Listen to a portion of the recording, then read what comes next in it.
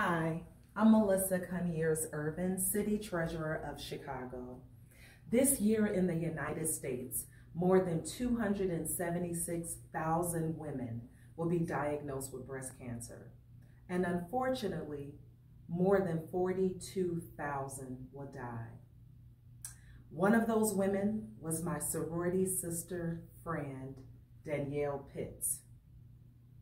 And so on today, we are strutting for a cure. African American women have a 41% higher death rate from breast cancer than any other group of women. This is why we strut. We recognize the strength of survivors, their family, and friends. Remember, early detection is key. This is why we strut, because we need a cure today. We need a cure today. Necesitamos la cura ahorita. We need a cure today. We need a cure today.